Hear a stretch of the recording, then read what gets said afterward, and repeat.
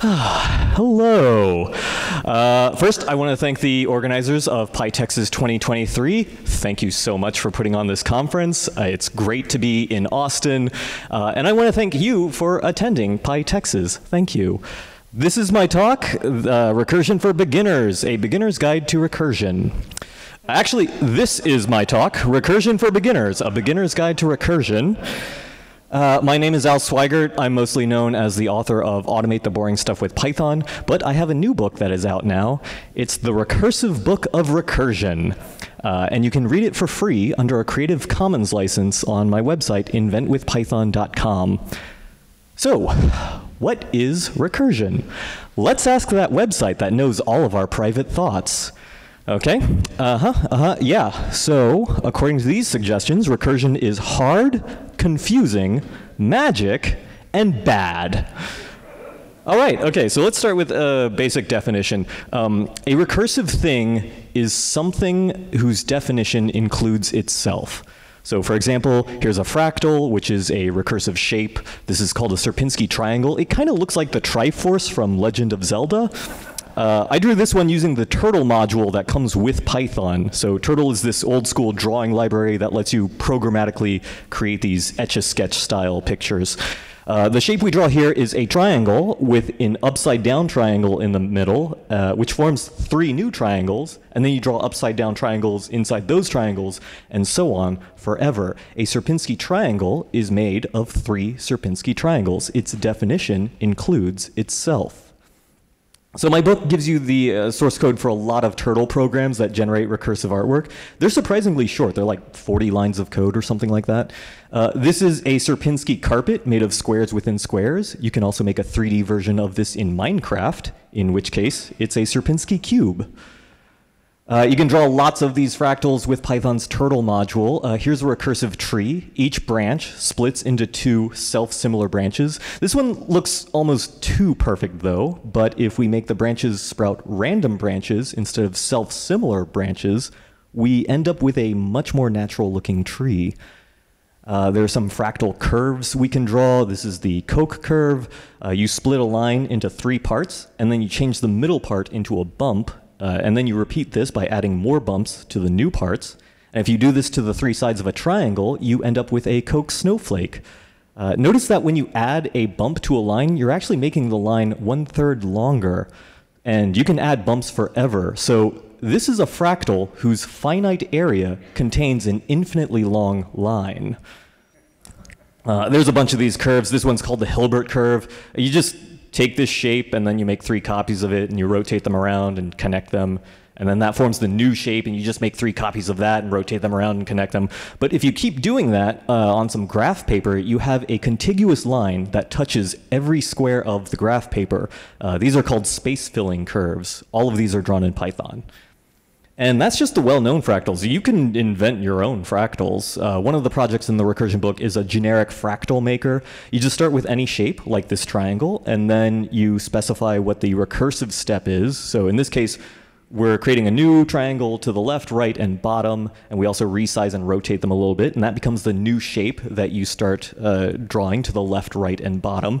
And if you do that for several more steps, you create a brand new, never before seen fractal.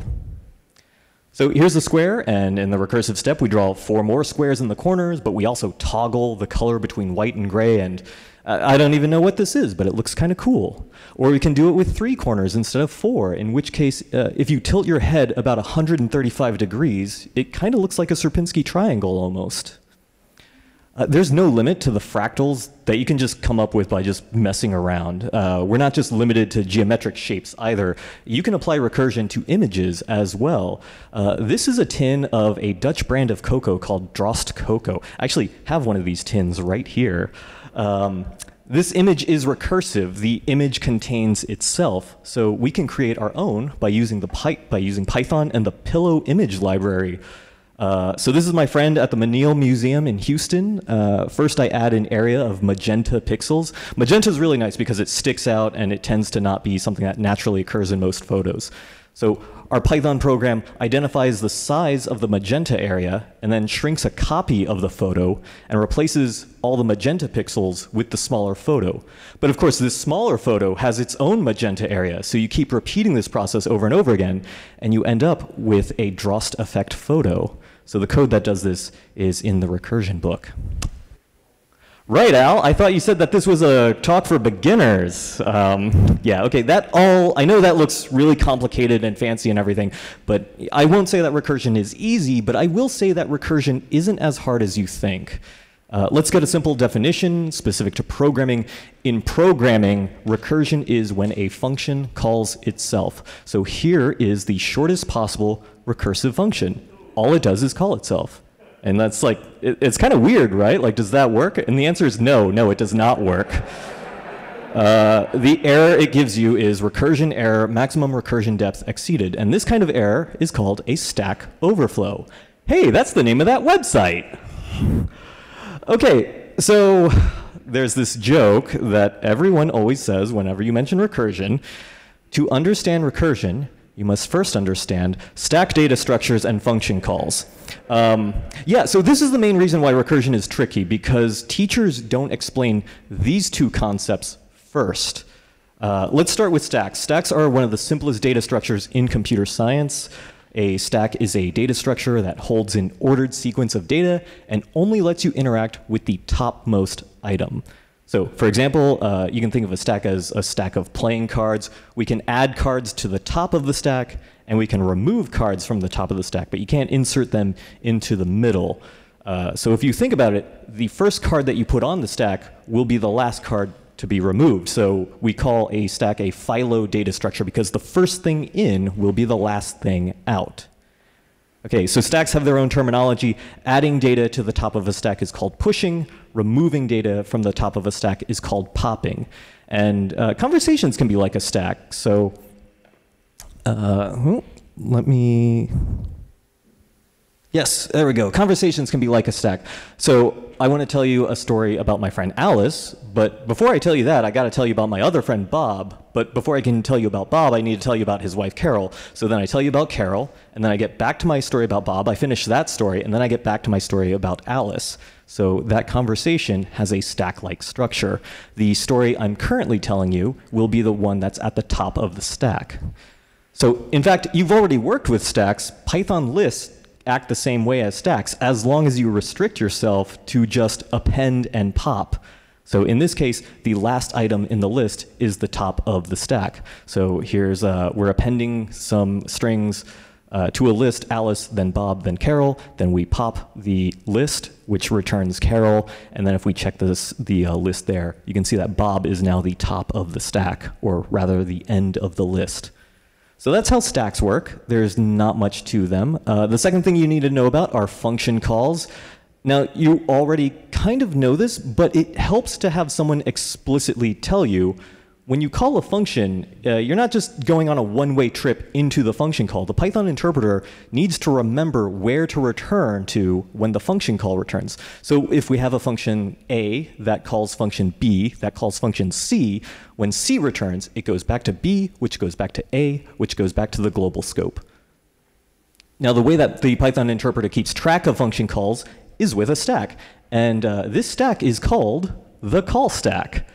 So Python puts frame objects on the call stack, and frame objects contain the data of where the execution should return to after the function call returns. So you can think of a frame object as representing a function call. We push a new frame object onto the call stack when a function is called, and we pop it off the call stack when the function returns. The topmost frame object is the function call the execution is currently in. Uh, you know, but when we look at our code, you might wonder, uh, where's the call stack exactly?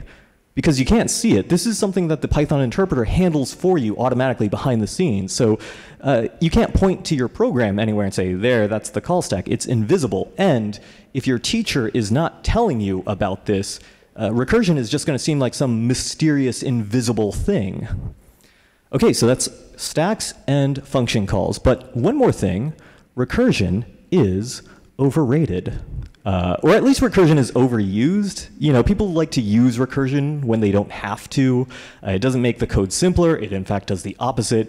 But programmers will do this anyway because one of the most irritating things programmers do regularly is feel so good about learning a hard thing that they don't look for ways to make it easy or even oppose things that would do so.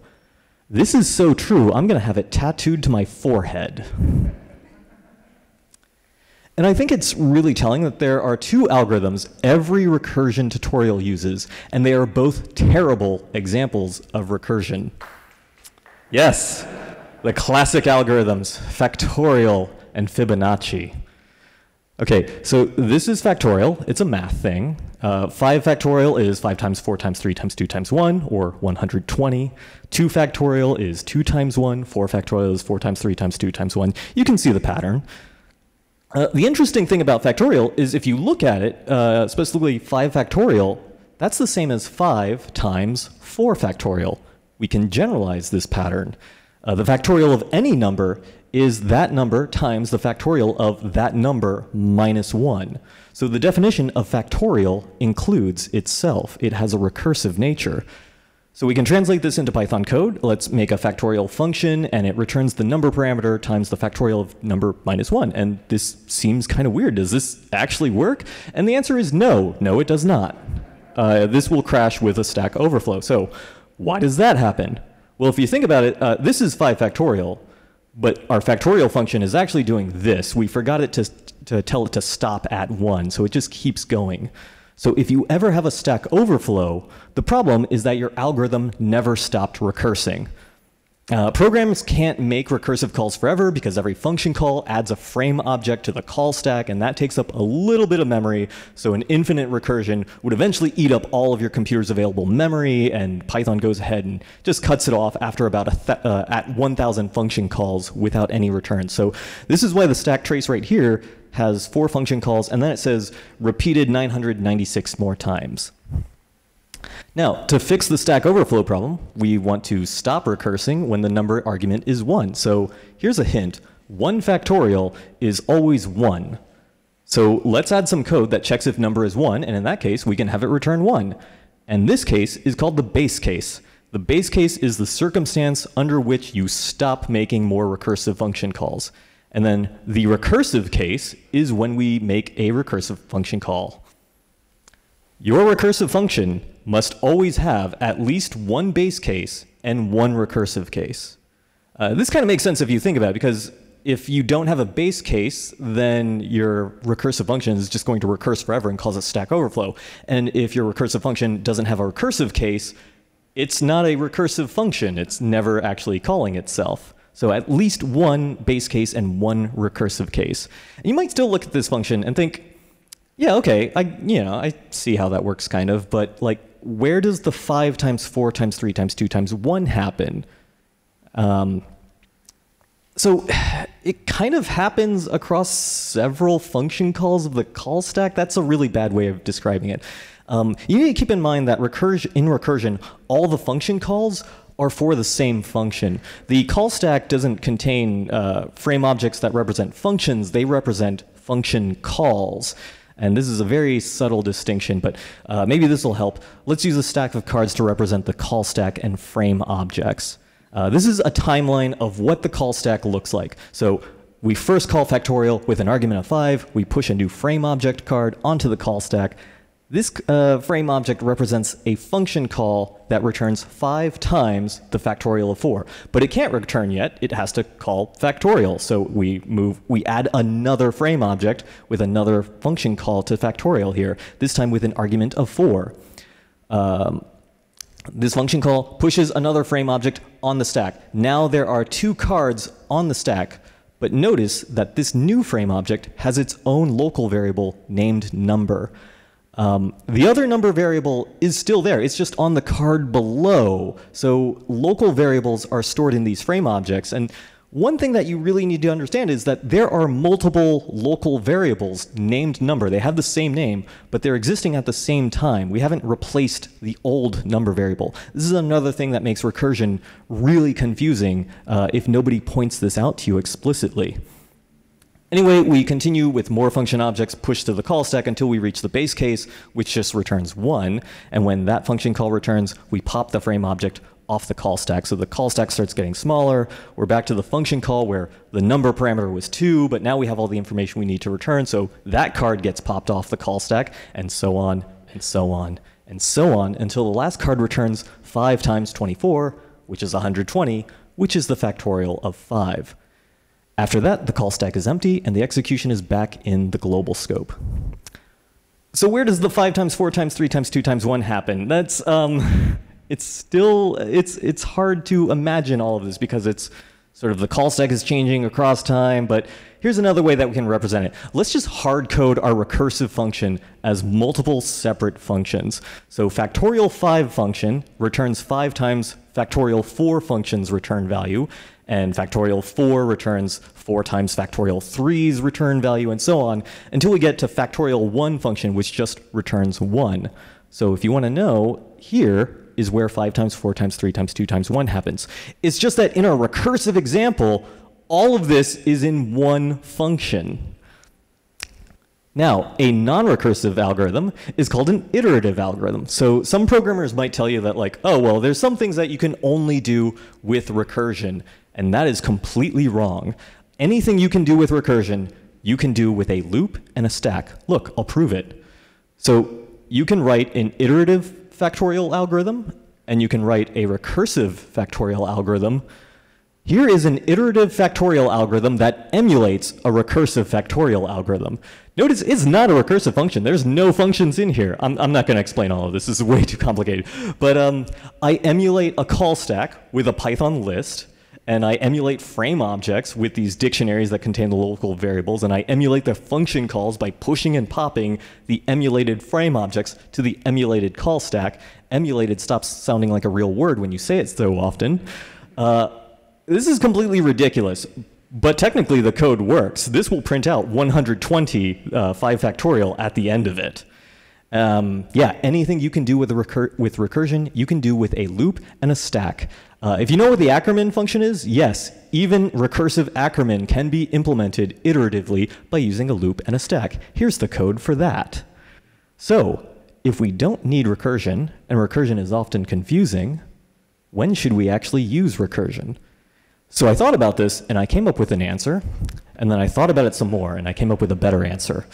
Uh, we should use recursion when your problem has uh, both a tree-like structure and backtracking. So this is a tree data structure. It's used a lot in computer science. You have a root node at top, and it branches out to other nodes. And those nodes will branch out to other nodes, so trees have a recursive structure. Uh, yes, I realize that the tree is upside down. That's because the root node is the start, and on paper we write things from top to bottom.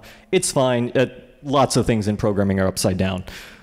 So recursion is really suited to working with tree graphs because they have a recursive nature, um, especially like when you need to move down the tree graph, but then you also have to backtrack up. There's a lot of problems that you can sort of map onto trees and then use recursion to solve. For example, a maze can be solved with recursion because a maze is just really a tree data structure. The entrance is the root node, and then every time you come to an intersection, it branches off into multiple other nodes, and the exit is going to be one of the other nodes. So if you backtrack from the exit back to the entrance, that's the solution of the maze.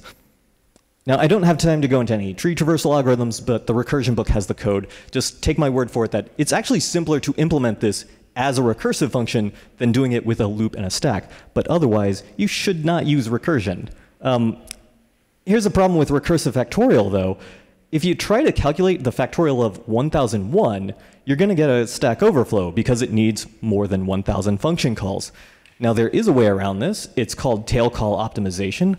Long story short, uh, the Python interpreter can mess with the call stack and uh, prevent stack overflows. It's just you have to make the recursive call the last thing in the recursive function uh, because if there's no code after, after the recursive call, you don't have to hang on to the local variables, which means you don't have to hang on to the frame object and you can prematurely pop it off the stack and then the call stack doesn't grow. And that's, yeah, uh, tail call optimization is this way that you can stop stack overflows. But there's another problem. Uh, recur this recursive factorial function uh, can't be tail call optimized because you notice there's this one little bit of code that happens after the recursive call. So now you have to rewrite uh, all of your code to use this thing called an accumulator and change the base case around. This is just becoming more and more confusing.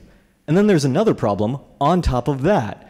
And that's the Python interpreter doesn't implement tail call optimization, and it never will. Uh, Guido van Rossum has a couple of blog posts giving his reasons, but he's not alone. Uh, most JavaScript engines and the uh, Java virtual machine from Oracle also don't implement tail call optimization. It's, you can write tail recursion if you want. It's not actually going to happen uh, by the compiler or the interpreter. So, despite the fact that factorial is the most popular example of recursion, you never actually want to use recursion to calculate factorials in the real world, ever. The other popular example of recursion is the Fibonacci sequence. This is another math thing. Um, you probably know this. The sequence starts with the numbers 1 and 1, and the next number is always the sum of the previous two numbers. So you can, you can easily write a function that uses a loop to calculate these. But if you're too clever for your own good, you'll notice that the nth Fibonacci number is the sum of the two previous Fibonacci numbers. So this definition includes itself, and you can write a recursive algorithm for it. The base case is that the first two numbers, uh, 1 and 2, are always going to be 1. But notice that every recursive function call results in two more recursive function calls. So here's a tree diagram. If you try to find the sixth Fibonacci number, uh, you're going to end up with all of these other calls in exponentially growing number of function calls. And a lot of those are redundant. You're recalculating the same Fibonacci number over and over again. And to prevent this, there's a technique called memoization. Long story short, you can just uh, cache the return value the first time a function is called, and then uh, that way you don't have to repeat the calculation and blah, blah, blah. This is all just uh, more hacks that you have to put on top of complicated code just to make recursion work at all. And you can avoid all of it just by not using recursion. It's like, I don't even know why people use recursion. It's just so confusing and frustrating. And, and I hate it. I hate recursion. I hate it so much. I hate it so much that I'm going to write an entire book on recursion. And then I'm going to give it away for free on the internet just so people can find out how terrible it is. You should never use recursion. It's so pointless. Except there is one area where recursion comes in handy. This is the Python instruction 2 plus 3. We call this an expression. Now, an expression is made up of values connected by operators. 2 and 3 are values. The plus operator is an operator. Uh, so we can, we can define an expression as value, operator, value. But expressions can be more complicated than this. Uh, the, this expression is 2 plus 3 times 3. So in this case, our expression is a value operator and another expression. And a value by itself is also an expression. It's just that a value is an expression that evaluates to itself.